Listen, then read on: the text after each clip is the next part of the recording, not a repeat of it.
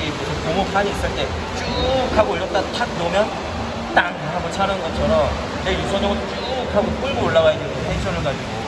그리고 어떻게 해야 돼? 땅 하고 차야 되는데 하나 둘 이러고 땅 하고 차면 입숙킥이 아니지 이거. 그래서 이건 그냥 모양이야. 무릎으로 차려고 그러는 거예요. 그래서 그 텐션이 있어야 돼. 그래서 소리가 달라요. 무릎으로만 쓰는 아, 그냥 깨지는 소리하고 전체적으로 며느리면서 쿵 하고 하는 소리하고는 묵직함이 달라져. 실은 그거를 물 안에서 수면에서 구현을 하기 위해서 지금 하는 거예요. 이거. 그래서 소리를 위한 흉내는 안 된다는 거야. 포인트는. 소리를 내기 위해서 끈건 아니고 끌고 올라와서 텐션으로 팡! 탁 하고 쳐야 돼. 마치 파리 잡는 것처럼. 그죠? 다시. 소리가. 소리가 잘 안 나도 모양만 봐도 조금 이게 야무지게 찾을 때가 있고 그냥 비껴 찰 때가 있고 긁어 찰 때가 있어. 본인이 하다 보면 그걸 느낄 수가 있어요. 탕. 지금 뭐 요 느낌이 약간 탕 찼지. 탕. 그치 입속킥이 전혀 안 올라오고. 탕. 탕. 근데 무릎이 약간 너무 쓰는 편이긴 하지.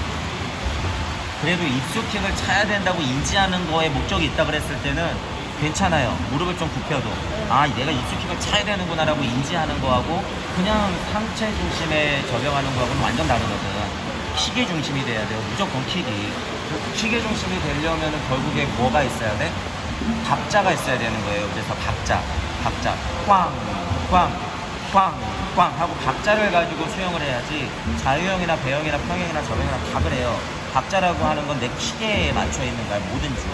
배영할 때도 하나, 둘, 셋, 하나, 둘, 셋, 하나, 둘, 셋. 지금 이거 뭐예요? 배영 대시하는 박자야.